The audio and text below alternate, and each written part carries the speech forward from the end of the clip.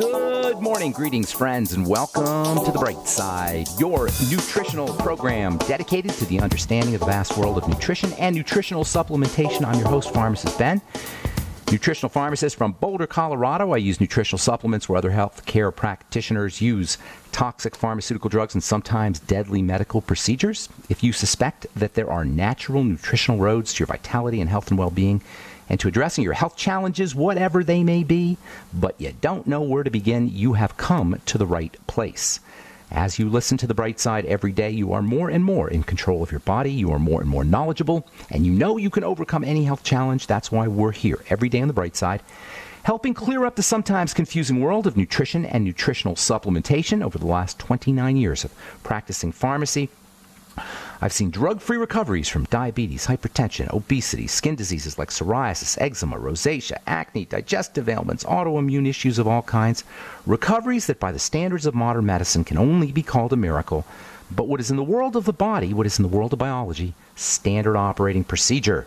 Because the human biological system is a healing system, a regenerating system, it's designed divinely to heal and renew itself on a moment to moment basis. And while some folks may call that healing system a miracle, it really is just the way the body works. If you have questions about health or nutrition or prescription drugs, we welcome your calls on the bright side. 844 236 6010 is our number. 844 236 6010. If you have questions about the longevity products, longevity business formulations, skin health ingredients, anything we're talking about on the program, or if you just want to contribute to the conversation or if you have a success story you'd like to share, 844 236 6010 is our number on the bright side. If you want to purchase any of our Truth Skin Health products, head over to truthtreatments.com. Make sure you check out our Retinol 5% gel as well as our Truth Serum, Truth Balm, and Truth Omega 6 Healing Cream. We also have a blog at truthtreatments.com, and you can check that out as well. Do skin skin health posts periodically, and I also have a blog at criticalhealthnews.com and pharmacistben.com where you can purchase longevity products or sign up to join the Brightside Ben team. Pharmacistben.com, criticalhealthnews.com, also brightsideben.com. You can call the Brightside Ben phone team also at 866 735 2470. Tell them you want to join the Brightside Ben team for a one time $25 fee. You can start a longevity business, make some money selling longevity products, and get your products at the wholesale price. Call the phone team at 866 735 2470 if you're interested. Okay, so last we spoke, we were talking about the idea of using drugs and medical treatments based on standard protocols and using diagnostics and devices rather than looking at the body itself of the individual. I remember working as a pharmacist back in the 19, late 1980s, early 1990s. I was in this little town in Colorado, and periodically there would be a winter storm. And after a winter storm, almost always there would be a flu or a cold epidemic that followed, and the pharmacy would be packed with people who were coming in to fill their prescriptions, maybe 100, 150 a day sometimes. And it was just me and a, a, little pharmacy tech, and we'd be filling scripts all day long and answering the phone all day long. Folks, be very nice to your pharmacist because he's really overworked. I can tell you that for, from experience. Anyway, so 100 people, 150 people, they come in the pharmacy all day long, in and out, in and out. They line up, they hand me their script, I fill the medicine, and they pick it up and pay for it. And what these people didn't know is that almost everybody who was coming in for cough, for, for a flu or a cold was getting the exact same medicine, the exact same prescription. Women, men, kids, old people, young people, they were all getting a script for an antibiotic and a cough suppressant. Everybody. Moxicillin, Almost always it was amoxicillin, and sometimes it was uh, uh, the cough syrup they give you, something called Tussionex or Phenergan. Always amoxicillin and then either Phenergan or Tussionex. It was like a ritual. It was like water and wine. Now, do you suppose that all these people had exactly the same biochemistry and exactly the same medical needs and exactly the same type of illness? No, human beings are individuals, but the medicines are not individualized. In hospitals, in managed care, in the the practice of medicine in general, there are formularies, there are menus, there are ways that we are treated that are standardized. All diagnoses receive the same medicines, and all surgeries. Uh, uh, surgeries as well. Surgeries join in with these with these uh, diagnoses and medical protocols in general. Testing, devices. The idea of a standard treatment for every diagnosis is part of heart health, it's part of skin health, it's part of inflammatory diseases. The treating, treatment of inflammatory diseases is part of treating autoimmune disease, it's part of treating cancer. It's called functional medicine or clinical medicine. And it represents a lack of thoughtfulness and it enriches and it entrenches the medical model without improving our health. This is one of the major reasons why health is a, health care is a failure because of standardized care based on diagnostics, based on formularies. It's created this idea of medicine, this institutionally institutionalized idea of medicine has created maybe not created, but it's resulted in some measure at least in a health crisis, a degenerative disease health crisis that has never been seen in the history of man. This is what our medical model is presiding over. Every single chronic degenerative disease is increasing, every single one even as we have more drugs and more insurance and more doctors and more health awareness. So, what is it that our multi trillion, $3.5 trillion in healthcare costs? That's what we spend every year. This is, an inc- this is a mind boggling number. $3.5 trillion, nearly a quarter of our economy, is spent on healthcare. How could we be this sick? What are we gone for all this? We got more drugs, we got more surgeries, we got more diagnostics, and we got more health misery. $10,000 per man, woman, and child. 4 billion prescriptions. 12 prescriptions per man, woman, and child. 50% of Americans have at least one chronic degenerative disease. 25% of Americans have at least two chronic degenerative diseases. How can we possibly be this sick? In a world of technological advances that is uh, so mind boggling, so stunning, we can manipulate atomic matter. We can. We can create brand new materials from scratch. We can travel to the stars. We can leave the solar system. How can we possibly be so broken down? What is wrong with this picture? Well, the answer, at least partially, is in the institution of medicine. It's in the model of medicine not the individual doctors, not you know we got to we got to separate the individual as always from the institution. Just like there's individual patients and there's the institution of medicine there's individual doctors. And there's the institution of medicine and the doctors are just as much a victim many times. This whole notion of functional medicine or clinical chemistry medicine is not only about shortcuts it's not only about laziness medical laziness it's also about the system. It's about making the system stronger. It's about making people weaker and the system stronger. It's about empowering institutions like the government and the medical model, the institution of medicine, even as it disempowers us. And this is what Obamacare is about. It pretends to be about people, but in reality, it's about entrenching government mandated health care, empowering drug companies, device manufacturers, diagnostic companies and it allows the medical model to establish something called standards of care. This is an official legal term, standards of care. Standards of care is a legal definition or a, a legal mandate that compels doctors to treat patients in a standard way. You go to the doctor, he takes a blood test, and based on the results, he has to treat you a certain way or he can lose his license. Or worse, he can go to jail. Standards of care are the intersection between medicine and law. It's how malpractice is determined via this, this standards of care standard. It tells the doctor what he has to do based on what tests he, the results of what tests he gave you, or what his diagnosis is. This is why we have diagnosis, so we can impl- uh, we can apply standards of care. It's an official term. And who is it that sets the standards of care? Medical boards, doctors, drug companies, insurance companies, all people who are have financial interest in the standards of care. This is not a good thing, people. This is definitely not a good thing. It means that if a doctor doesn't follow standards of care, which the insurance company set up for him, which the uh, medical boards, which are made up of doctors, set up for him, the doctor is legally liable for malpractice. He can go to jail. He can lose his license. He could be penalized. And this is how doctors, even the well meaning doctors, are kept in line by the threat of, uh, of, of, legal prosecution, literally legal prosecution for violating standards of care. All right, I'm Pharmacist Ben. You're listening to The Bright Side, 831 685 1080. I'm sorry, 844 236 6010. 844 236 6010 is our number. We'll be back right after this.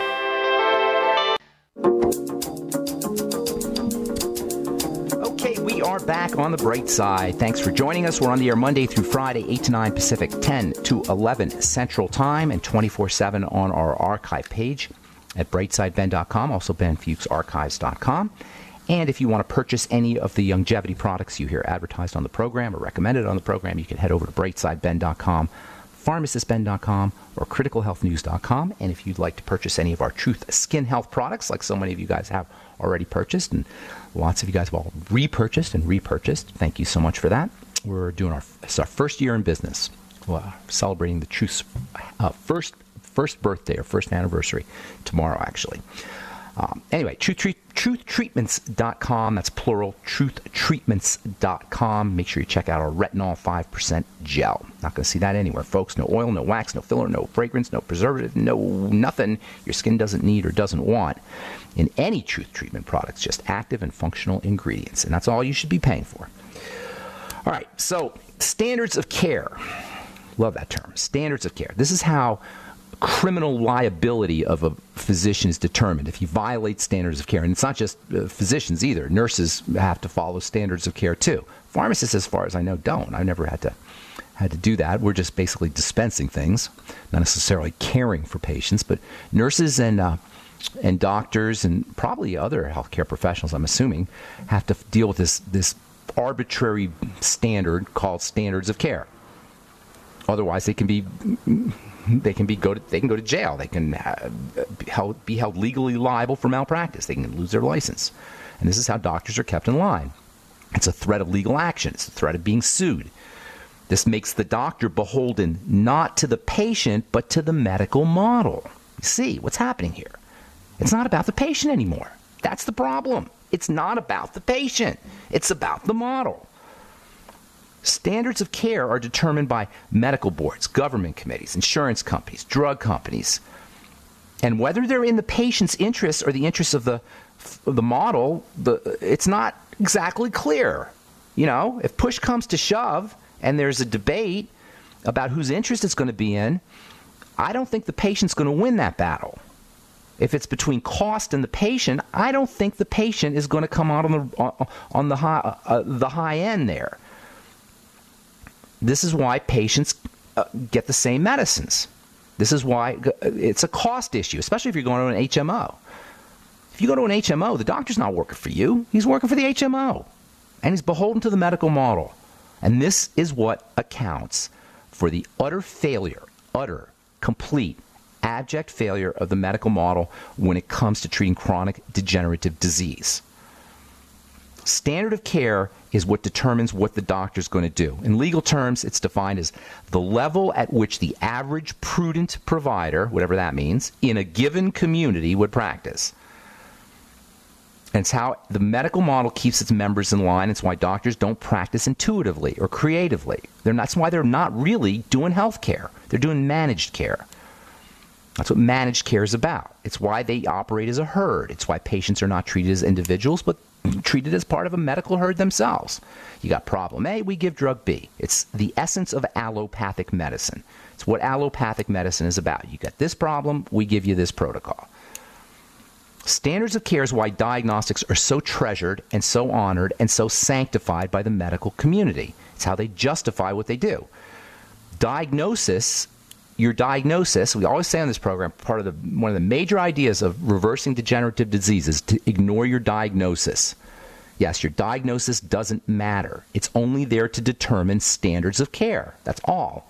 As far as reversal of disease, it doesn't matter what your disease is named. The name of the disease or the particular geography on your body does not matter from a reversal and healing perspective. Healing perspective for restoring the body back to wholeness. It diverts it. It diverts us, but it's how standards of care work. So they have to have a diagnosis. Once you get a diagnosis, you're in the system, folks. You're you got a number, you got a special code, it gets plugged into the computer. You get special benefits. The government pays for certain things. The insurance companies pays for pay for other things. I was just reading an article about how they want to reclassify diabetes, type 1 and type 2 diabetes. The problem with type 1 and type 2 diabetes is even though type 1 diabetes is so called autoimmune and type 2 is just a long term aging thing, the end result is the same thing.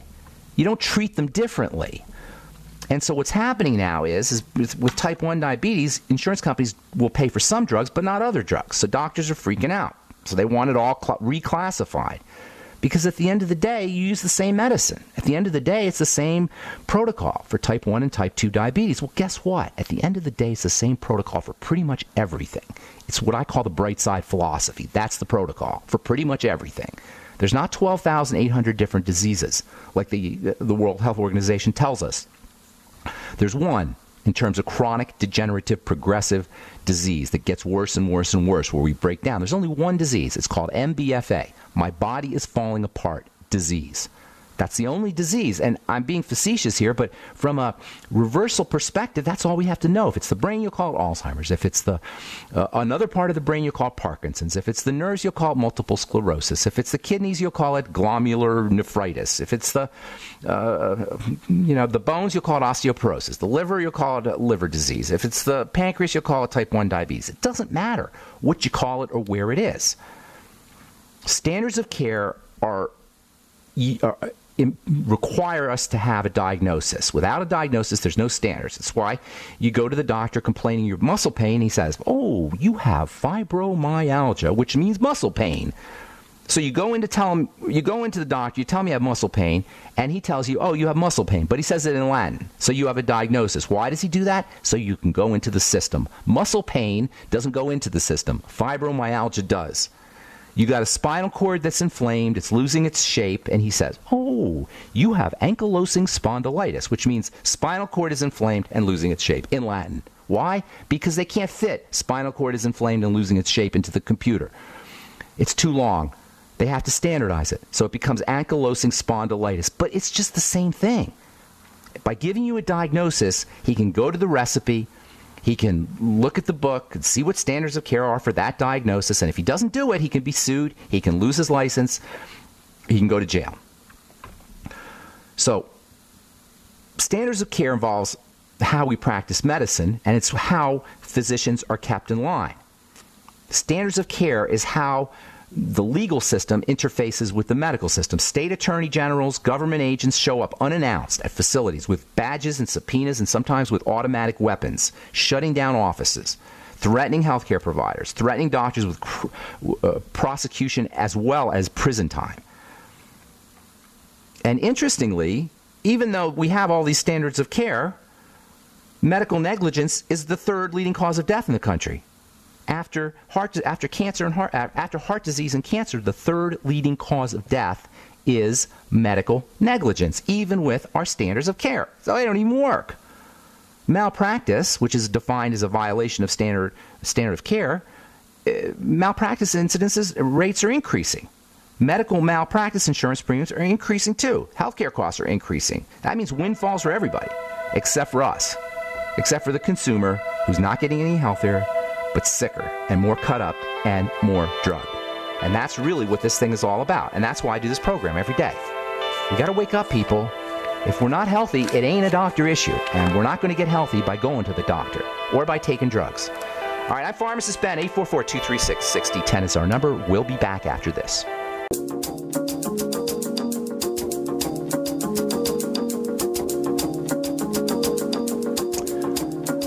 Back on the bright side. I am Pharmacist Benny. 442366010 is our number. We do have lines open for you. If you're on hold, hang on. We'll get to you in just a moment. 844-236-6010 is our number.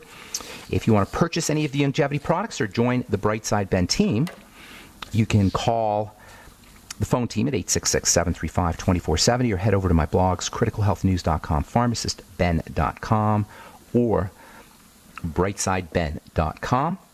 You can sign up to join the Brightside Ben team right off the website or by phoning, or you can purchase products right off the website as well. Okay, from the University of Dundee in Glasgow, vitamin pill could prevent heart attacks and strokes in people with kidney disease. Do you know one out of 10 Americans has kidney disease? One third, nearly a third of Americans who are over the age of 65 has kidney disease. It's an epidemic. 60,000 people a year die from kidney disease. And now it turns out that a vitamin pill could prevent heart attacks and strokes, one of the leading causes of death in, in people with kidney disease. It's vitamin K. Yes, vitamin K. the one they tell you not to take when you're on a blood thinning drug for your heart.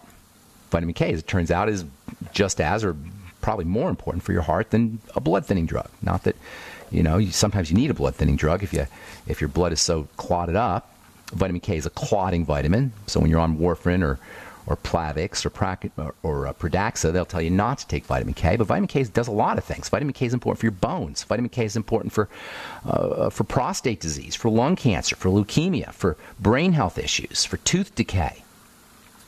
Vitamin K is an incredibly, incredibly important vitamin. There's three different kinds.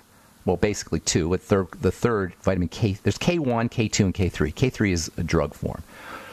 Uh, but, but two nutritional forms, K1 and K2. K1 is found in plants, your green leafy vegetables, which is one of the major reasons why you want to be eating your kale and your spinach and all your other green leafies, arugula and such. The darker the color, by the way, the more the more vitamin K activity you're going to have typically. The second kind is made in your gut by vitamin K2. But of course, because we drink chlorinated water and we brush our teeth with fluoride and we got fluoride in the water and antibiotics in the water, et cetera, et cetera, our intestines aren't healthy a lot of us aren't making vitamin K2. Vitamin K2 is what cleans our, our blood. It prevents calcification. It actually keeps calcium where it needs to be. Vitamin K1 is a blood clotting vitamin. Vitamin K2 is a calcium vitamin. Now, there's different kinds of vitamin K2. You'll hear terms like MK4 and MK7. Uh, MK4 is synthetic. MK7, that's the that, that's probably the best one to look for is MK7 vitamin uh, vitamin K2, MK7. You'll see it on the label. It'll say MK4 or MK7. Look for K2 and MK7 if you're going to supplement. According to this article from the University of Dundee, vitamin K actually can help prevent heart attacks and strokes if you're dealing with kidney disease. And if you are dealing with kidney disease, understand that you can do a lot of things. Most especially, keep the blood clean.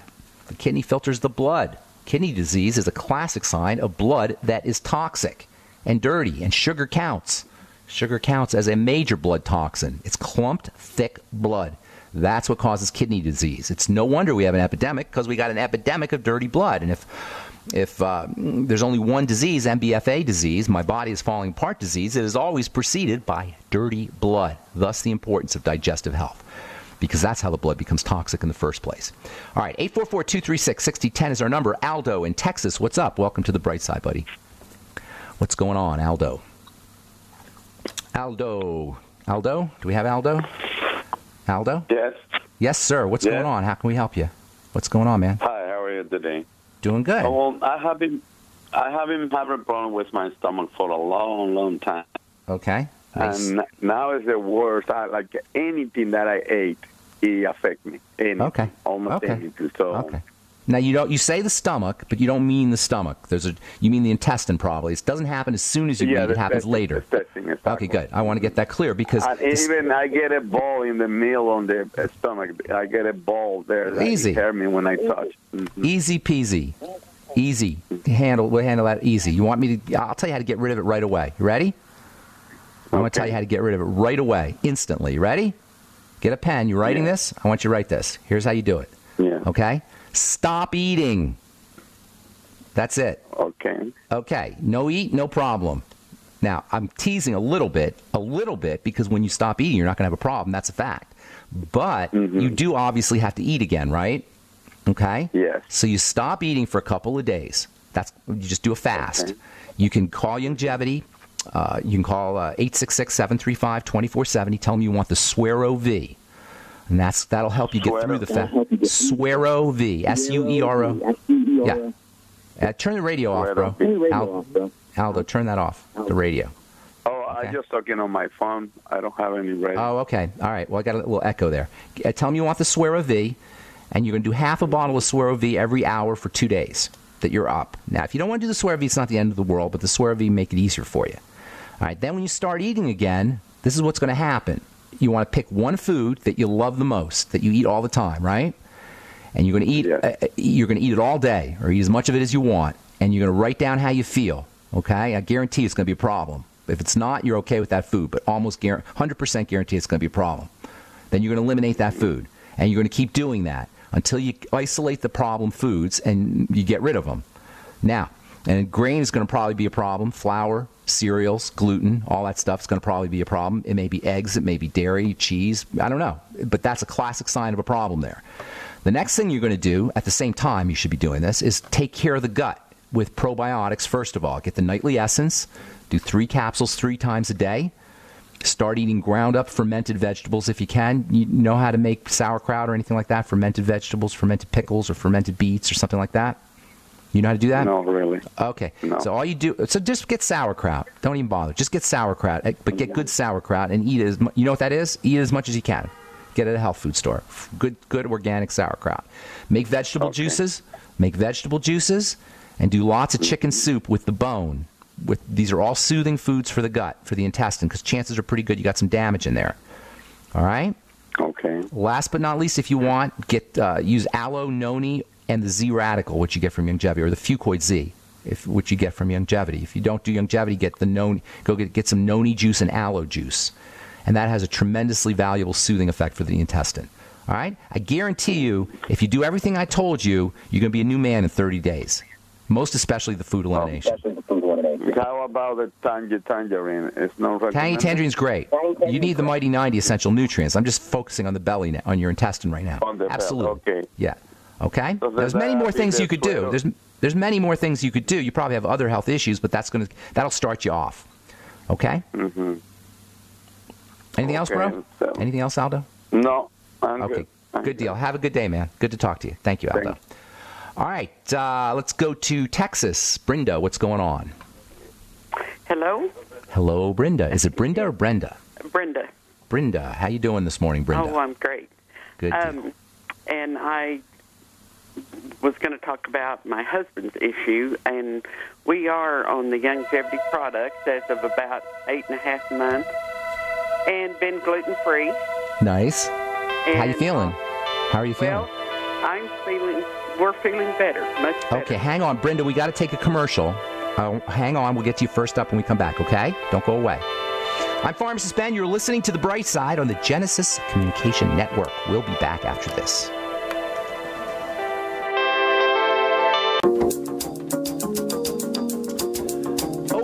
Okay, we are back on the bright side. 844-236-6010 is our number. Got a couple lines open. Brenda in Texas. What is Yes. going on? Proceed. So Okay. you're on the longevity products for eight months, and you're doing better. And, and yes, we feel better, and we've been on, you know, don't eat the 10 bad food list that Dr. Wallach has out and all. 12 Okay. now, but, you know, the 10, 12, absolutely no fried foods, all, all that. And um, I have celiac, and so I've been, you know, gluten free for almost two, two years, but my husband's been gluten free for a good year now or whatever. And like I say, we feel like we're eating really clean and healthy, you know, for the most part. And Okay. uh, and yet he had been on Nexium for several years for bad reflux. And Okay. so we started once we got on the longevity products, you know, trying to wean him off that and everything. And he was he was kind of taking one every two to three days or whatever, you know Okay. and still having reflux. And then even once um, Dr. Glidden said, "Well, increase the liquid calcium," and and we did that for two or three months there, whatever. And Still having like, the reflux. yes, and so he, you know, and he kept trying to go longer without taking a Nexium. I'm going to help you. I'm going to help you right away. I'm going to help you like I just helped the other guy, like Okay. Aldo, who just called. Uh-huh. Okay. You got to tr- you got to link it to food, and the way you do it is by stopping eating. He's not going to have heartburn if he stops eating. Okay, Mm-hmm. unless he has a very very serious case or you know Barrett's esophagus, which can happen. Sometimes people he get does. heartburn. He does have Barrett's esophagus. Okay, He all had scope uh, almost a year ago, and well, a year and a half ago, I guess, and he had yes, Barrett's. Does water do it? Do, you know, do, does any? Will he get heartburn from just water, or reflux Mm. from just water? Well, I don't know. Just Okay. water. All right. Well, here's But what you wanna do. really, Like if he takes the when the, the tangy tangerine, it's Yeah. like that. Just really with All that. right, all right, all right. That has to do with how he's brought, his body's processing what he's putting in his mouth. Mm-hmm. Heartburn is a processing issue. It's processing of substances. Now, when it gets really bad, sometimes people can't even do water. Has he tried apples, by the way? No. Okay, that's I first thing. Apple every day. well, try have him do an apple. Apple can can do miraculous things for heartburn.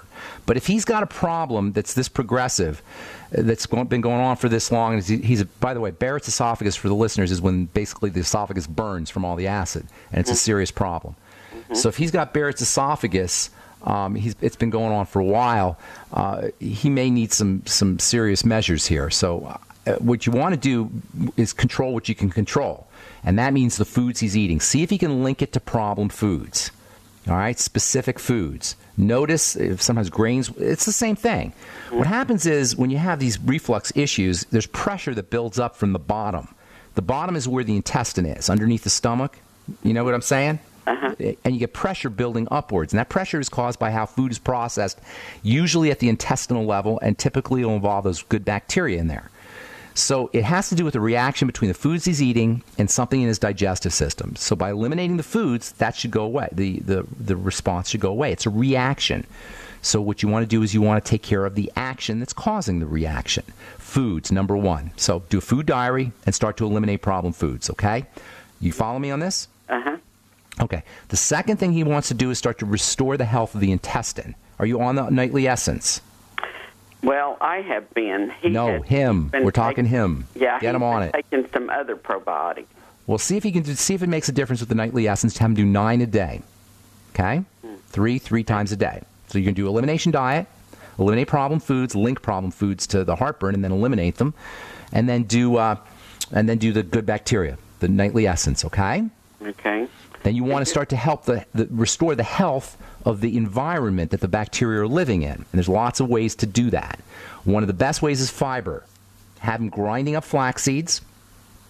Okay, put it in water, or if he likes, he can put it in unsweetened almond milk and make himself a little pudding. That's what I do.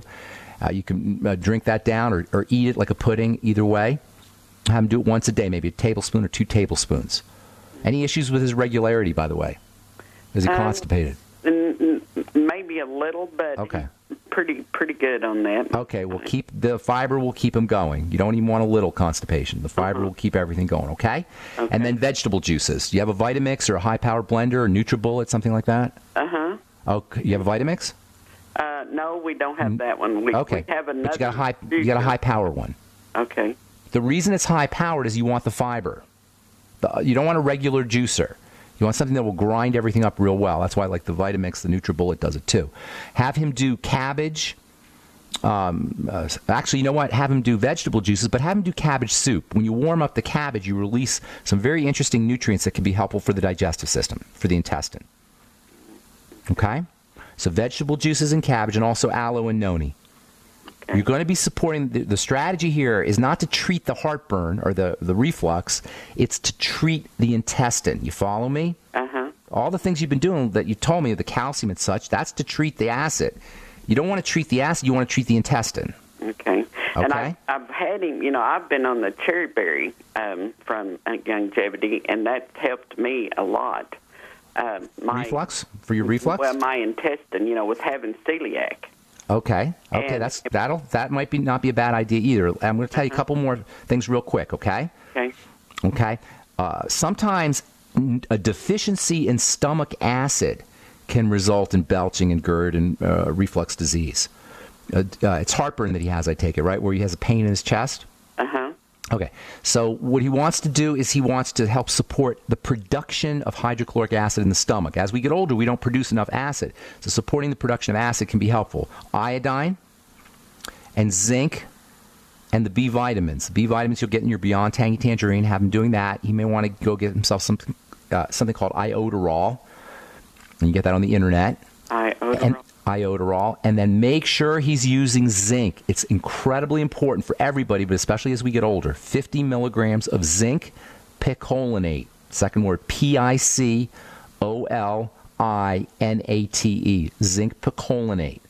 And this will help him make stomach acid. Also, starting off his meals with bitters or something bitter can help. Arugula, dandelion greens, and such. You know what I'm talking about? Starting off the meal with something that stimulates his digestive juices. That might be helpful as well.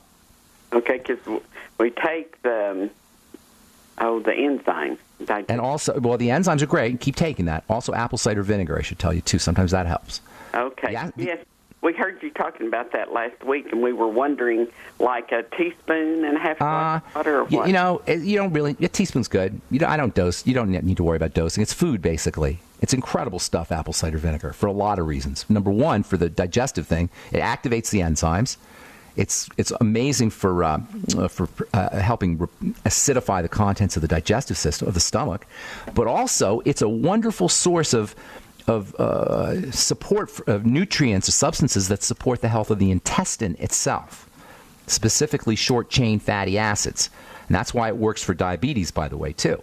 Apple cider vinegar is wonderful for, for helping stabilize the blood sugar. Everybody's wondering why apple cider vinegar could work, and I get letters. How does it work? Why is it so mm-hmm. powerful? And people think it's some kind of old wives' tale. It's not an old wives' tale. Apple cider vinegar is a source of something called acetic acid. And acetic acid is a powerful precursor substance for the intestine and for the brain and for the blood and for the blood sugar. So plain old apple cider vinegar can go a long way and taking that, you're saying at the beginning of a meal. with the meal, somewhere with the With meal. it. Okay. Just sip, kind of sip along. You know, you could do a swig of it. You could do a swig or a ta- couple tablespoons full. You know, half an ounce to an ounce. A tablespoonful is half an ounce, so half an ounce to an ounce. but mixed with some water. You can mix it with water. You can mix it with oil. I do it straight, but you, mixing it with oil, you can make a nice little salad dressing, or you can mix it with uh, just with water and drink it down. Either way. Okay. Okay. And what was the noni something you said? Noni, N O N I. You get it from Youngevity. Call 866 735 2470. Ask them for the Noni product. N O N I. Eh, Really fascinating stuff, Noni is. All cactuses and, and what they call succulents, these are things that live in the desert that absorb water, are rich sources of really active medicines called polysaccharides, sugars complex sugars that nature has bequeathed them to hold on to water. Polysaccharides trap water, but they also, these polysaccharides, long chains of sugar, also have tremendous health benefits, especially for soothing the digestive tract. It's why the Fucoid Z is so helpful, and it's why Noni and Aloe are both so helpful. All right, Brenda, that's the music. Time to go. I apologize. I hope I helped you out. Okay, good luck with everything. God bless you. And that's all the time we have for today on the bright side. Tomorrow we'll talk about one of the most underappreciated of all supplements, dietary supplements. It's a hormone like substance, and I can't wait to tell you about it. Amazing, amazing, amazing for seizure disorders and for helping you sleep, for relaxation, for anti aging. It can help people wean off.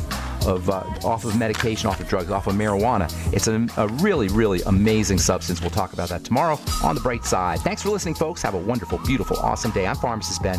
We'll talk to y'all later. Bye for now.